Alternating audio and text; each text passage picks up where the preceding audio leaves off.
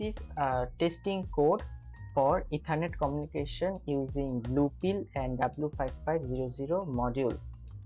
Uh, I have set a connection in such a way that uh, Bluepill is connected with WIZnet W5500 module and using a RJ45 connector and a Ethernet cable I have connected uh, my whole circuit with my PC.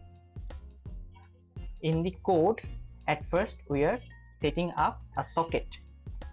Then we are checking whether the socket is in listen mode or not. If we try to get connected with the socket then this will be equal to socket established. Upon establishing socket the MCU will continuously print hello world to PC using this command. Then there is a delay of 100 milliseconds. Then I will compare whether I am receiving anything which is equal to hello.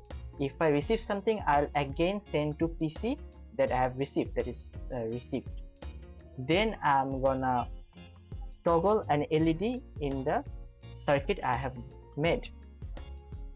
Then I'm going to see whether there is a connection physical connection lo lost uh, with PC and the MCU mm, that is the uh, with PC and W5500 module.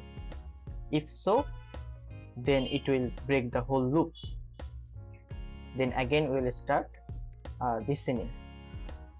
If we try to close the socket, then this value will be equal to socket closed. Then I'll disconnect the socket and it will be again in listen mode. Okay. First of all, let's see whether our connection is proper or not so we have a connection established properly with the W5500 module and Bluepill. So let's connect it. Then I'm receiving hello world in the PC if I send hello then I can see a LED is toggling. I give say hello I'm getting received uh, printed in the screen as well as I'm toggling an LED that means the connection is established and I'm getting the desired output.